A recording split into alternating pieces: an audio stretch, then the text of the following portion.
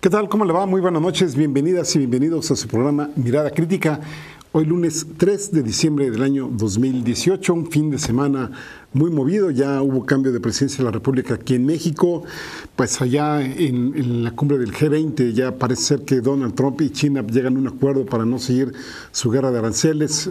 Estuvo la Feria Internacional del Libro con más de 800 mil personas allá en Guadalajara, muy, muy, muy lucida esta Feria Internacional, la segunda más grande del mundo, y también se conmemoró la, este 1 de diciembre el Día de Lucha contra el VIH-Sida, el virus de la inmunodeficiencia humana y el síndrome de inmunodeficiencia adquirida, una enfermedad que actualmente pues, en el mundo hay más de 35 millones de personas infectadas, en forma acumulada desde su aparición en la década de los 80, pues más o menos estará, de acuerdo a cifras epidemiológicas, como 76 millones de personas infectadas, insisto, desde el inicio de la, de la infección, de los que pues desafortunadamente 35 millones ya han muerto, han fallecido a causa no necesariamente del SIDA, sino de enfermedades relacionadas con esta enfermedad, tuberculosis, neumonías, etcétera, ¿no? El hecho es que también actualmente 19 millones de personas desconocen que viven infectadas con este virus. Cada año se producen casi 2 millones de nuevas infecciones por año y en México más de 220 mil personas viven con este virus. El 90% de las infecciones se producen vía sexual, el otro pues vía sanguínea o también en algunos pocos casos afortunadamente de la madre a los hijos. Casi una quinta parte de las personas infectadas son mujeres, 9% de las trabajadoras sexuales están infectadas y entre los usuarios de drogas intravenosas 5%. Ojalá las sigamos combatiendo este flagelo, sigamos teniendo mayores controles respecto a esta enfermedad que ha causado muchísimas muertes, no solo en México, sino también en el mundo. Y vamos a entrar en materia, ¿no? Les decía yo que ya tuvimos un cambio de gobierno este sábado 1 de diciembre y déjenme comenzar por algunos indicadores del término del sexenio de Enrique Peña Nieto, no solo en aras de estar, o, más dicho, lejos estamos de intentar hacer leña del árbol caído, sino estos indicadores con los cuales estamos criticando el término del sexenio de Peña Nieto perfectamente nos pueden servir para hacer una evaluación, un seguimiento del nuevo sexenio que inicia o que inició ya este 1 de diciembre. He sacado diversas columnas, por ejemplo, del financiero de Juan Pardinas y por supuesto de otras fuentes de información con las cuales clasifiqué, digamos, de manera sucinta algunas partes que creo que son interesantes para nosotros y nosotras. ¿Qué tal, por ejemplo, de la reforma energética, no? La reforma energética, si recordamos, inició hace cuatro años. Nos vendieron la idea de que iba a haber una inversión extranjera como nunca, ¿no? Pues de hecho, para eso privatizaron más. Pero fíjense, en estos cuatro años que se hizo la reforma energética, apenas llegaron 760 millones de dólares de capital foráneo acumulado, lo que equivale apenas a, casi el 2, menos del 2% de la inversión pública de Pemex en el mismo periodo y además hay que decirlo, apenas el 0.7% de la inversión prometida. Estos son datos de la Comisión Nacional de Hidrocarburos. De hecho, desde que se implementó la, reforma, se han otorgado 107 contratos de exploración y de extracción a 74 empresas de 20 países. También nos prometieron que se iban a generar 3 millones de, barriles de petróleo por día, eso lo dijo López Obrador en su discurso el sábado, y ahora estamos apenas en 1.8 millones y la producción va declinando cada vez más se importa más del 70% de las gasolinas, la gran mayoría de Estados Unidos, que se necesitan aquí en el país. Y entre 2000 y 2014, si tomamos estos dos periodos como referencia, las importaciones de gasolina crecieron 143%, es decir, muchísimo. Y otra cosa interesante es que eh, además, digamos, de los productos eh, derivados del petróleo, hay que ver también la búsqueda de, de, pues, de energía alternativa, ¿no? que no sea tan contaminante. En México, solo el 18% de la electricidad se genera con energías renovables y aquí interviene mucho la producción de gas, del cual también hay desafortunadamente una alta dependencia de su importación del extranjero. ¿Cuánto gas, por ejemplo, habría que preguntarnos se desperdició aquí en México, en la sonda de, de, Campeche? Muchísimo. Y aquí hay que decir, si las gasolinas aumentaron 143%, la importación entre 2000 y 2014, las del gas subieron 880%. De ahí que es muy importante fortalecer el desarrollo de energías renovables, lo que permitiría fortalecer la soberanía energética y bajar, bajar los costos de pues, justamente todo lo que tenga que ver con la producción de energía, ya sea eléctrica o de otro tipo. ¿no? También hay que decir que el precio del gas, eh, por ejemplo, del Texas, de que se compra muchísimo, ha aumentado últimamente en más de 45%. Otro tema que tenemos que estar alertas de cómo termina y cómo inicia este sexenio es las cifras que tienen que ver con homicidios. A octubre de este año, la tasa en México no era de 7 por 100 mil como cuando estaba Felipe Calderón, ahora es de 29 por 100 mil habitantes. Es decir, cada año de 100 mil habitantes que existen en el país, 29 son asesinados. El día 1 de diciembre, en diversos medios se recogieron al menos 15 asesinatos en el país. López Obrador en la conferencia de prensa que dio esta mañana reconoció 50 el sábado y 50 el domingo y estos ya le están contando Andrés Manuel López Obrador. En el sexenio de Peña Nieto habría que diferenciar también la inaceptable cantidad de feminicidios y de periodistas asesinados. De hecho, hay que decir que México está considerado como el país más peligroso para el ejercicio del periodismo, incluso superando a Afganistán. Este fin de semana, por cierto, en Nayarit se encontró el cadáver de Alejandro Márquez Jiménez, el noveno periodista asesinado en 2018. Él trabajaba en Diario Crítica y en Orión Informativo. Habría que ver cómo se dan las investigaciones para resolver este otro asesinato de un periodista más. Otro tema es la corrupción. Este fue uno de los puntos torales que marcaron la administración de Enrique Peña Nieto. Según la última medición de Transparencia Internacional, México está ocupando el lugar 135 de 180 países evaluados en corrupción. Y fíjense cómo hemos ido, eh, como pasó así que hacia atrás, ¿no? En el año 2000 estábamos en el lugar 59, que ya pues tampoco era así que digamos que bueno, ¿no? Digamos que estábamos a media tabla, ¿no? En el 2006 ya estábamos en el lugar 70, en el 2012 en el 106 y ahora en el 135. A nivel regional, México está entre los peores ubicados de América Latina y del Caribe. Estamos por debajo de Brasil, de Argentina y de Colombia. Ocupa la misma posición de Honduras y Paraguay. Junto con Rusia, es el peor evaluado del grupo del G20 y en el caso de los países que están en la OUDE, la Organización para la Cooperación y Desarrollo Económico, somos los peor evaluados. Fíjense, otro dato interesantísimo es que desde el año 2000 la Auditoría Superior de la Federación ha entregado a la Procuraduría General de la República, la PGR, cerca de 958 carpetas de investigación por presuntos casos de corrupción. Cerca del 98% de estos 958 casos ni siquiera, ni siquiera han llegado al escritorio de un juez, con lo cual estamos pues, prácticamente en la total impunidad. Otro ejemplo es el seguro popular. Más grave es el seguro popular porque depende de la salud de la población con esto, ¿no?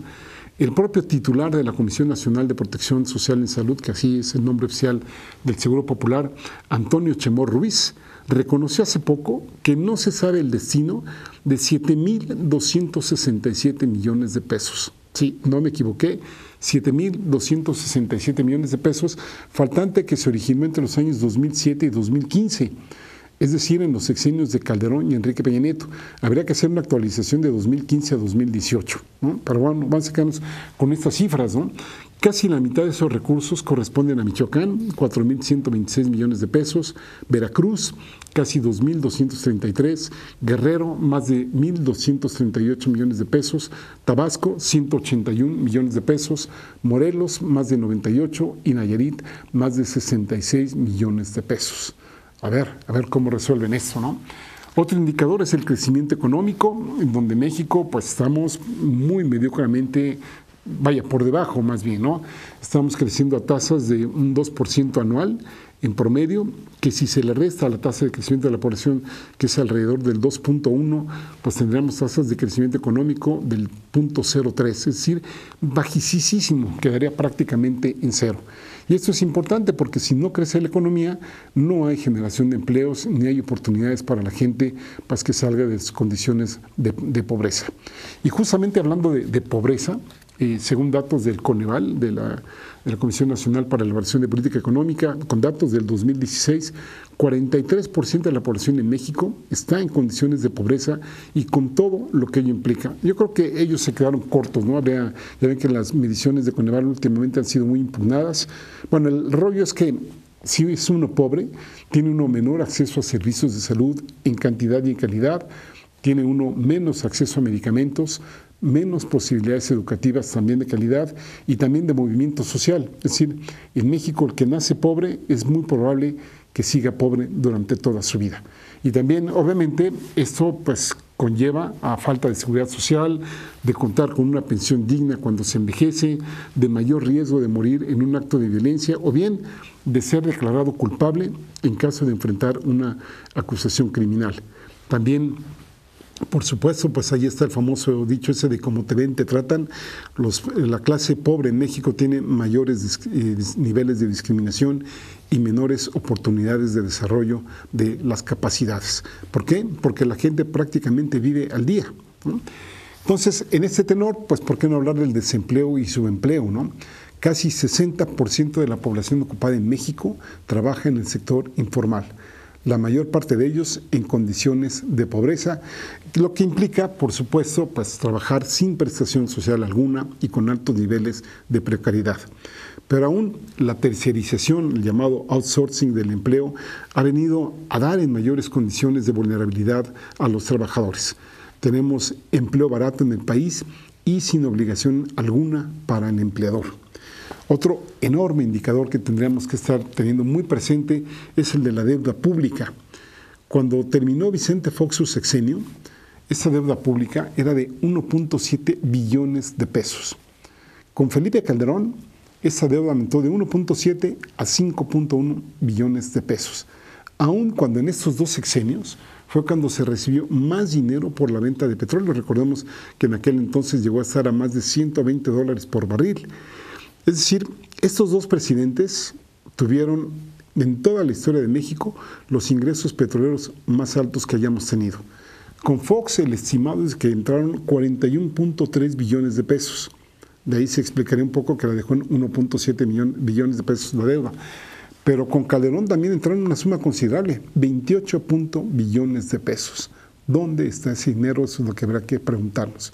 En el caso de Peña Nieto, según el Banco de México, la deuda neta del sector público, ahí estamos incluyendo la deuda interna y la externa, al mes de septiembre de 2018, es decir, habría que agregarle la de octubre, noviembre y diciembre, es de 10 billones de pesos.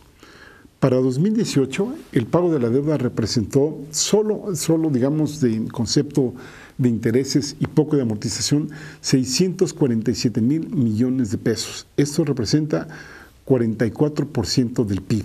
¿Qué quiere decir esto? Que de cada 100 pesos que gasta el gobierno mexicano, 44 se van al pago de la deuda. Y para el año 2019, el pago de la deuda al menos serán 713 mil millones de pesos. Esto de acuerdo a un documento de los precriterios para la elaboración del presupuesto del año próximo. Hay que decir que la deuda genera crisis y las crisis económicas son grandes fábricas de pobres. Gobiernos que se endeudan irresponsablemente debilitan la salud y el potencial económico de un país. Aquí hay que decir, con todos estos endeudamientos, cómo gasta el gobierno mexicano. Ahí está el avión presidencial que ya se fue a California para que lo vendan, pero también rubros como por ejemplo el pago de gastos médicos mayores. El año pasado se destinaron 2.713 millones de pesos que pues, dicen ellos es legal porque está estipulado en el artículo 30 del Manual de, Percepciones de los Servidores Públicos de las dependencias y entidades de la Administración Pública Federal y también con, base a datos de la componente que sacamos este tipo de datos y estos protegen no solo a los altos funcionarios públicos, sino también a su cónyuge y a sus hijos. En el caso del salario presidencial, según la Secretaría de Hacienda, el salario de Peña Nieto era de 214.994 pesos mensuales, más 80.892 pesos en prestaciones, un total de 295.886. Según AMLO, más o menos ganará alrededor de 108 mil pesos mensuales. ¿Cómo están las cosas en el país? ¿Cómo la ve usted?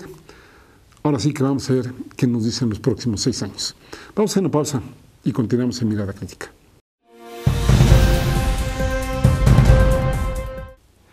Enrique Peña Nieto, personaje mediático principalmente, millones de pesos gastados en él, en publicidad, principalmente por las cadenas televisivas.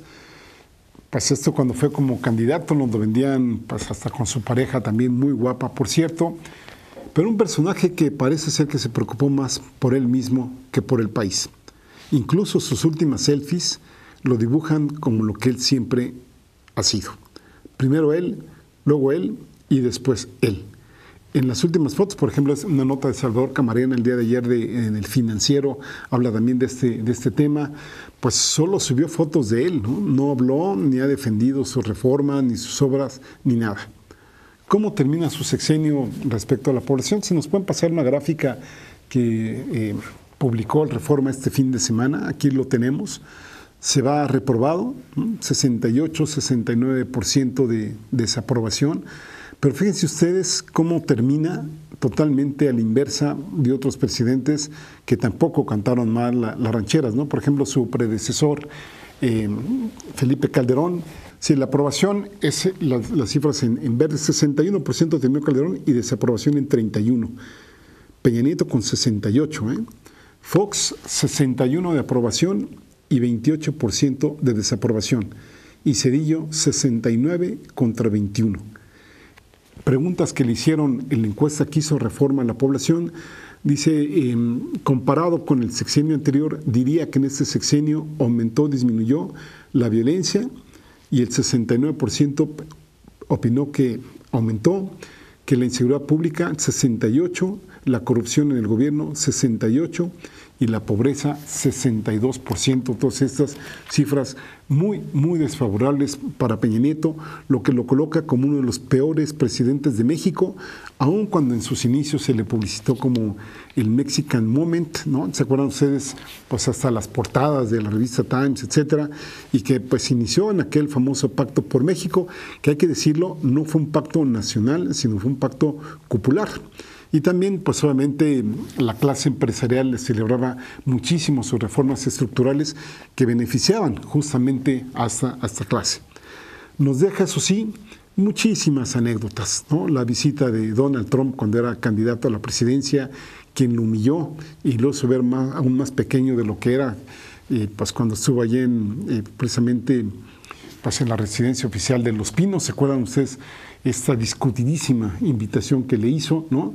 Ahí pasó obviamente lo peor del asunto es que lastimó muchísimo la investidura presidencial, no tanto al propio Peña Nieto, cómo no recordar ahora que hablábamos de la FIL, la de los famosos tres libros que él había, había leído y que le marcaron su vida y que no lo supo decir, ¿no? Cuando nos recordó que él no era la señora de la, de la casa cuando le preguntaron cuánto costaba el kilo de tortillas, el famoso aquel, eh, queda un minuto para llegar, no, menos, quedan como cinco. Los nuevos estados del país, ¿se acuerdan ustedes el estado de, León, etcétera? Sus sabias lecturas en inglés, que las pueden ustedes ver en YouTube su lectura de discursos con trabalenguas, por ejemplo, cuando no pudo pronunciar la palabra epidemiología y que además dijo que él no sabía que le habían puesto trabalenguas en su discurso, los trajes carísimos que viste, la compra del, eh, pues ahora sí que del más que lujoso avión presidencial, que ahora, pues, insisto, ya lo, están llevando a vender allá a California. Bueno, nada más habría que ver las crónicas de los distintos periódicos. Échenme un vistazo pues, a, los, a, los recorridos que hicieron los reporteros para ver la cantidad de lujos que tiene este avión, si era o no necesario el uso de helicópteros para ir a jugar golf con Emilio Gamboa, ¿no? incluso interrumpiendo eventos mundiales, la última que nos hizo, ¿no? la degradación de la condecoración del Águila Seca, que es la máxima condecoración de nuestro país, ahora que se le entregó a Jared Kushner. ¿Qué ha hecho Kushner por México? ¿Qué ha hecho Kushner por el mundo? Porque supuestamente para eso es esta condecoración. No van a encontrar nada, se los puedo asegurar, ¿no? El máximo mérito de Kushner, ser el yerno de Trump y ser la principal vía de comunicación que tenía Luis Videgaray precisamente con Donald Trump. Y cuando se le criticó a Peña Nieto esta entrega, pues él todavía dijo, es una atribución del presidente y la quiero dar porque quiero hacer un reconocimiento a quien ha sido un gran aliado de México y contribuido realmente a que logremos un entendimiento. Pero lo más importante es que deja un país dividido deja un, deja un país lleno de muertos, de fosas clandestinas, de desaparecidos, una corrupción como pocas veces ha sido documentada en cualquier gobierno y miren que pues eso nos sobran. Ahí está Odebrecht, está la Casa Blanca, está la estafa maestra con más de 7 mil millones de pesos, está el socavón de Cuernavaca, el robo al Seguro Popular, también casi de 8 mil millones de pesos, los gobernadores de la nueva generación del, ahora sí que del PRI, ¿no? ahí están los Duartes, etcétera, y todos ellos prácticamente solapados durante el gobierno de Enrique Peña. Aquí hay quien dice solapados solamente o inclusive la posibilidad de complicidad de todo este tipo de actos. Y qué decir también de Yotzinapa, ¿no? que también ese es un agravio más a nosotros y nosotras como país, y un modelo económico más que cuestionado que solo ha servido para satisfacer a una, a una minoría económica política y que ha generado sistemas desiguales que no redistribuyen la riqueza y que por un lado tenemos altísimas tasas de pobreza y por otro lado una muy poca proporción de gente con niveles de riqueza más que exagerados con lo cual estas diferencias deberían avergonzarnos. Un presidente escenográfico que ensombreció más la pésima imagen que tenía ya el PRI, que ya venía acumulando históricamente. Al PRI lo catapultó, pero hacia abajo. Como diría René Delgado en una de sus columnas, el PRI pasó del roban, pero saben gobernar, al no gobiernan, pero saben robar. En esa dirección movió al PRI y desgraciadamente a México. Y aquí hay quien dice que ahora que eh, Peña Nieto le entregó la medalla, perdón, la condecoración del Águila Azteca a Jared Kushner, eh, pues no por, no por reciprocidad, sino por elemental justicia, Luis Videgaray también debería de merecer eh, una condecoración por los servicios prestados al gobierno, pero de Estados Unidos. ¿Será que él lo condecorarán allá o no? ¿Cómo la ve usted? Vamos a hacer una pausa y continuamos en Mirada Crítica.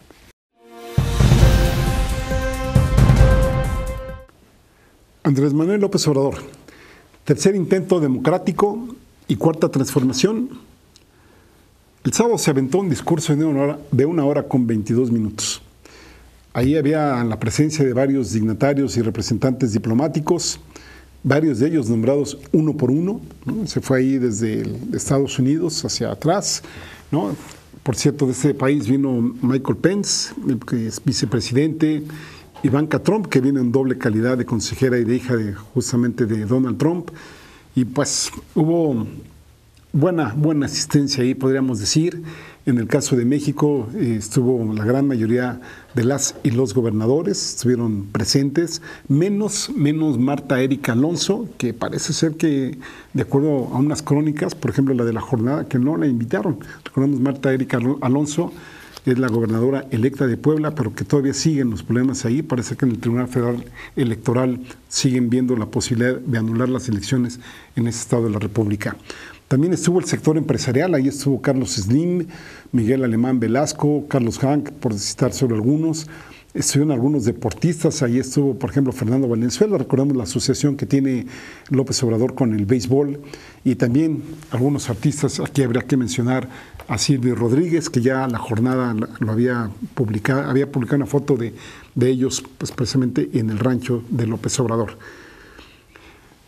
López Obrador recibe un país más que devastado, pues prácticamente por la corrupción, por los altísimos niveles de inseguridad en gran parte del país, producto también de la guerra contra el narcotráfico. También hay altos niveles de descomposición y de ruptura social. Un país en el que gran parte de nosotras y de nosotros estamos enojados y también que tenemos a un sistema de justicia que no funciona, que nos frustra, pero que nos puede encarcelar, que premia y protege a los poderosos, pero que muerde a los más, más vulnerables, en el que el Estado de, de Derecho es meramente una declaración, papel casi casi como letra muerta, y que está muy lejos de existir en la realidad. Un sistema de justicia que más que investigar y resolver, deja libres a la mayor parte de los culpables de la comisión de delitos, encarcela a muchos inocentes mediante tortura y siembra de pruebas, Y cuando hay pruebas fehacientes de responsabilidades, por ejemplo en el caso de los protegidos, los dejan en impunidad. Es decir, todo lo que conlleva el abuso del poder en pleno. López Obrador representa al menos la apertura de una puerta en la búsqueda de una opción pacífica de disminuir la desigualdad y encontrar la justicia, paz y seguridad. Ojalá esa puerta no sea un vacío y sea sitios más estructurados y más seguros para la mayoría de la población. Pero dados los intereses económicos actuales, es muy probable que vaya a ser un sexenio de confrontaciones y de polarización. El mismo discurso del sábado fue calificado por el presidente de la Coparmex como un discurso retrógrada y divisorio. Si en verdad se pretende una transformación, va a ser muy difícil que vaya a ser de otra manera pues, los estires y los aflojes y las confrontaciones en mayor o en menor medida. Habrá que ver cómo se resuelven estos conflictos. Por ello, López Obrador debe de aprender de los errores de las alternancias pasadas, me refiero a las del PAN, las dos, las de Fox y de, y de Calderón, para que no termine como las anteriores, totalmente frustrantes y totalmente serviles a los intereses populares ya ha hecho varias buenas medidas, terminó con las pensiones de los expresidentes, abrió los pinos este fin de semana, pues, según las crónicas, hubo al menos 90 mil personas que los visitaron. Ahora la población puede ver cómo vivían en la fastuosidad las familias imperiales aquí en México. Pero también, bueno, por supuesto hay que mencionar el decreto que se firmó el día de hoy para el acceso a la verdad en el caso de, de. Ojalá funcione también. Y también ha tenido medidas más que cuestionadas en ese larguísimo trance desde el 1 de julio al 1 de diciembre, que ojalá eso también ya sea recompuesto en esta nueva transformación. ¿Qué medidas han sido cuestionadas hasta ahora y que han levantado ámpula, tanto del lado derecho como del lado izquierdo, si le pudiéramos llamar? Uno, la conformación tal como está concebida hasta ahora, a menos que nos aclaren otras cosas, o en la próxima consulta que va a haber en marzo se decidan otra serie de aspectos. Está, me estoy refiriendo justamente a la Guardia Nacional, que debería de quedar en manos de un mando civil, no del secretario de la Defensa, y establecer un plan de formación de policías que no viene y que López Obrador ha dicho que eso ya le ha costado al país y que se han hecho por lo menos 20 años de intentos en ello. Yo creo que hay que volverlo a replantear y ver qué ha fallado en la profesionalización de los policías para que nuevamente se vuelva ahí. En su defensa, López Obrador ha dicho que los, los, policías militares, navales y los propios integrantes de la Policía Federal van a estar capacitados en términos de derechos humanos y que sus miembros no estarán amparados en el foro militar. Otra medida controvertida fue la cancelación del nuevo aeropuerto internacional de la Ciudad de México, que por cierto ahora lo, ampliaron para no eh, para no perjudicar tanto a los tenedores de bonos con los cuales se está financiando esta obra. Aquí hay gran cantidad de dinero comprometido en los contratos establecidos, pero también altos signos de corrupción que ha habido ahí. Ese aeropuerto es una de las bombas que Enrique Peña Nieto le está heredando al gobierno de López Obrador. Otra medida cuestionada, la construcción del tren del sureste, ¿no? aquí podríamos hablar del 2, del tren Maya, y también la, de, la que va a pasar de un lado a otro allá en la parte más delgada de, nuestro país, en la zona de, del Istmo, donde pues no se les ha consultado hasta ahora a las comunidades indígenas. Otra medida es la forma en que se dará el nombramiento de la Fiscalía General de la República, el nombramiento del titular de la Fiscalía General de la República, que es la que va a sustituir a la PGR. Ahí está la discusión de si se debe o no participar, de si López Obrador debe o no participar en la designación justamente del titular.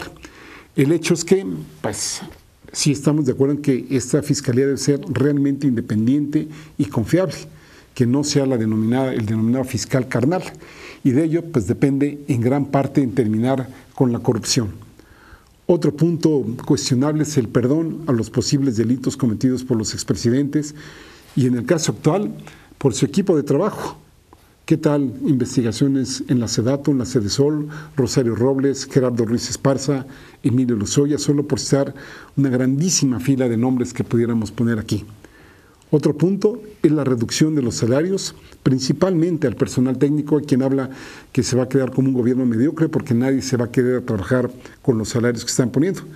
Yo creo que no necesariamente, a lo mejor va a tener que haber una curva de aprendizaje, pero lo, importante sería que vinieran con otra mentalidad. Otro punto, haber aceptado un consejo asesor empresarial, principalmente por el tipo de, de, figuras que lo están conformando, y entre los que destacan las dos grandes televisoras del país.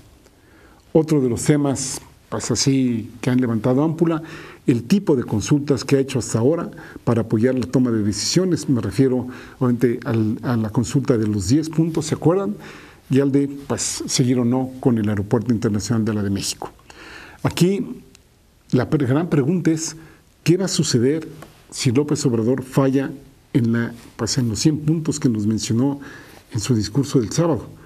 La situación del país está más que peligrosa de la que pues, pudiera, pudiera parecer de lo que estamos en este momento si de aquí a tres o seis años las cosas no mejoran en México.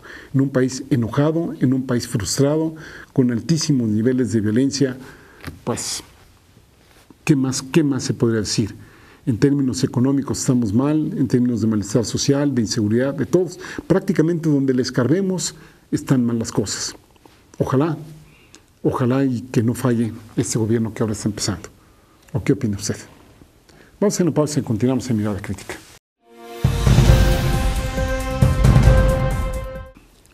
¿Y la oposición? Los partidos políticos están más que partidos, ahora sí que están más que idem. Podemos ver al PAN, al PRD, el PRI, cualquiera. ¿eh? El PAN, además de la confrontación interna, carga tras de sí dos alternancias más que fallidas y frustrantes. Fox desperdició el bono democrático y polarizó al país. Calderón nos sumió en la barbarie. Al menos Fox tenía las condiciones propicias para sacar al país adelante.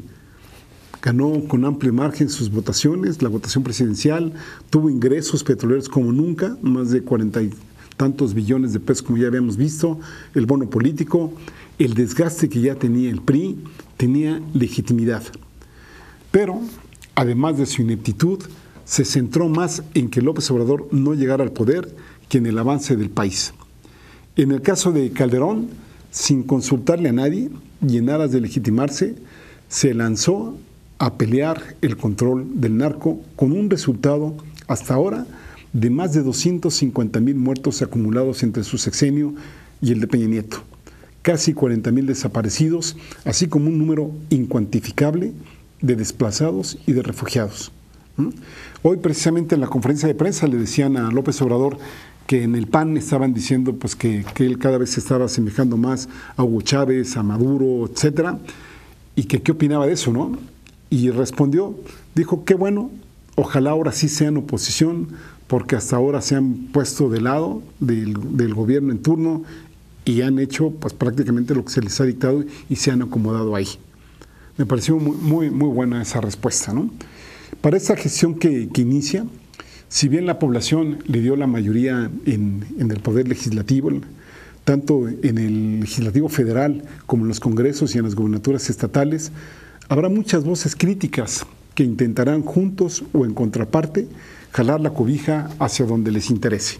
Y aquí podemos incluir a ONGs de distinto tipo, empresarios, el contexto internacional, empezando por Donald Trump, la cuestión que tiene que ver con migración, precios internacionales del petróleo, cómo se va a manejar la deuda externa, la cantidad de promesas y expectativas que se tienen con ese nuevo gobierno y a los ojos de la población, dada la mayoría que se le concedió, no habrá pretextos. Aquí la pregunta es, ¿podrá haber cambios sin rupturas? Por ahí dicen que resistencia que no apoya, derrumba. AMLO deberá correr con pies de plomo porque las expectativas están a corto plazo, muy corto plazo, pero no todo depende de él y de su equipo de trabajo. Aquí podríamos decir que en vez de presenciar, habría que construir también entre nosotras y nosotros. Jorge Volpi sugiere que seamos más críticos y vigilantes que nunca, pero que permitamos también que el cambio que anhelamos comience a ocurrir.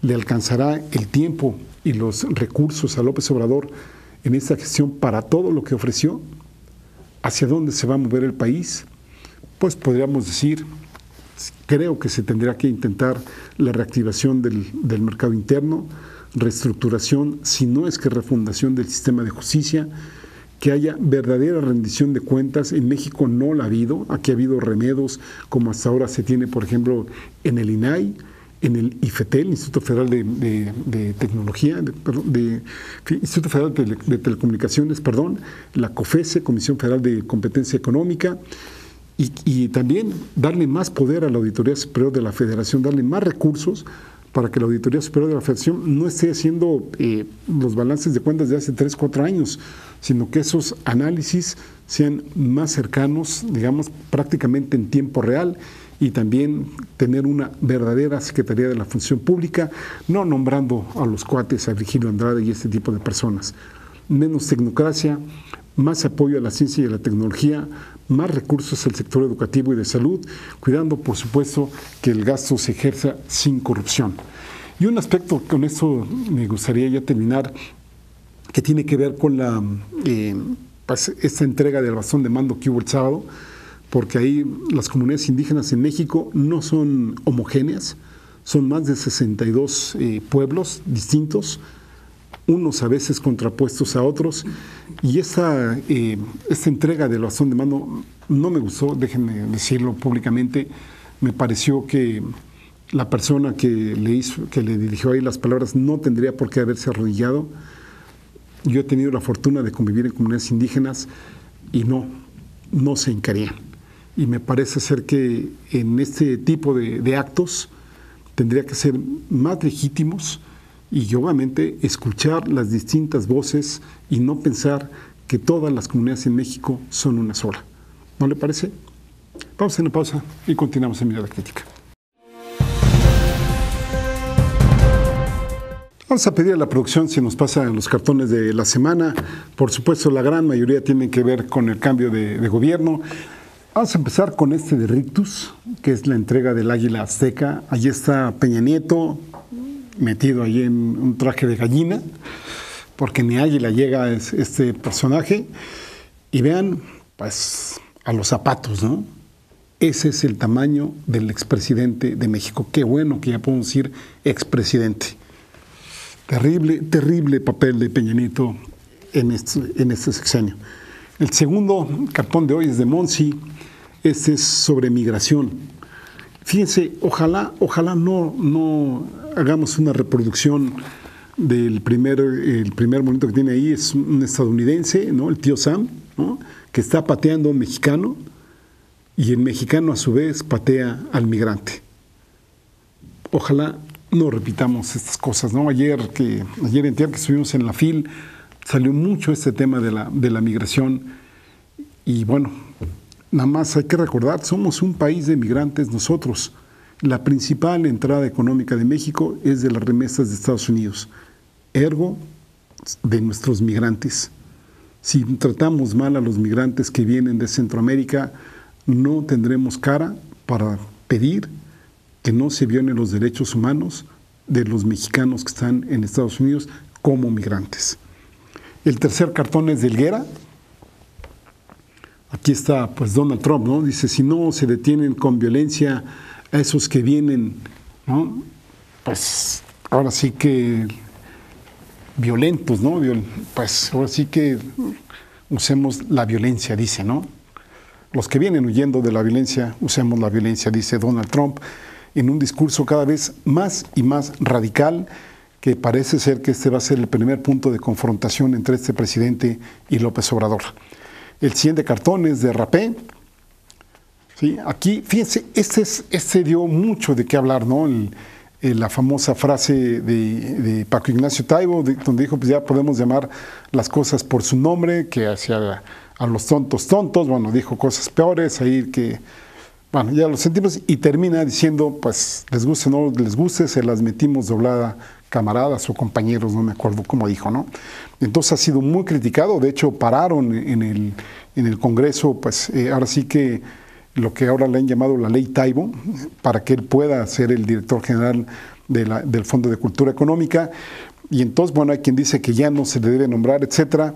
Y aquí vean el dibujo de Rapé, donde tiene dos, dos mujeres diciendo, qué grosero ese señor, y le contesta a la otra, los otros hablaban re bonito, y nos la metieron peor. Bueno, hay que quede. La siguiente caricatura es de Rictus, ¿no? ya alusiva precisamente al fin de sexenio, 2012-2018. y con la gran cantidad de muertes que deja tras de sí, superando a las de Calderón, por cierto. El siguiente cartón también es de Rictus, es eh, la despedida, ¿no? Sí que movió a México y dice Peña que cumplió en moverlo, pero lo movió, como hemos dicho aquí, al despeña Nieto, es decir, al despeñadero. El siguiente cartón, este es de Rapé, dice adiós, gracias México, y una bolsa con dinero y muerte tras de sí. Ahí va Peña Nieto. Siguiente cartón es de Hernández, también alusivo a esta temática. Y aquí, pues mire lo que José Hernández le dibuja a Peña Nieto, una sombrilla, un paraguas, que tiene justamente la imagen de López Obrador por los discursos que ha dado de que no se va a meter en juzgar pues, a los expresidentes, a menos, esperemos, que, la próxima consulta de marzo pues diga lo contrario. ¿no? Dice AMLO que no se va a enfrascar y desperdiciando energías en este tipo de cosas, que prefiere enfocarse a la construcción hacia adelante. Yo creo que sí habría que replantear algunas cosas aquí, ¿no? El siguiente cartón es de Rapé, otra vez. Aquí está Rapé, dice, cumplí con el 97% de los compromisos que hice con mis cuates. Y aquí, ¿a quiénes distinguen ustedes? Eh, ahí está Romero de Champs, ¿no? Ahí está Rosario Robles, ahí está Ruiz Esparza, ahí está Humberto Moreira, pues ahí están las principales figuras políticas ¿no? que hubo en este sexenio y que vaya que saquearon al país. También está el primazo, a ver si ustedes distinguen a quienes dibujó el monero Rapé en esta caricatura. El siguiente cartón es de Rocha, ¿sí? Y aquí están los tres expresidentes, ¿no? Con sus lagrimitas en los ojos, pero aquí le ponen a Calderón diciendo, visto así, hasta nos salió barato que nos hayan quitado la pensión, justamente por el perdón anticipado a los corruptos que ha declarado Andrés Manuel López Obrador. El siguiente cartón, este es de Hernández. Fíjense aquí cómo dibuja José Hernández a Carlos Loret de Mola y también pues este programa. ahí se me fue ahorita el nombre, a ver si, si me ayudan aquí. ¿Se acuerdan cómo se llama el, este que conduce el, em, el Foro TV, la hora de opinar? Sí, perdón, perdón, el lapso no me puedo acordar ahorita su nombre, a ver si, si me viene en la memoria. Dice, ¿cómo es posible que el PG esté dispuesto a pasar por alto toda la corrupción de los expresidentes que nosotros tanto defendimos? Es curioso, ¿eh? Es curioso este cartón, bueno, muy bueno más bien, este cartón de, de Hernández. Sí, es Leo Zuckerman, gracias Jesús. Es Leo Zuckerman el que está aquí con Carlos Loret de Mola. El siguiente cartón es del Fisgón. Aquí está Peña Nieto entregándole la banda presidencial a López Obrador en un piso que tiene puras, puras ruinas.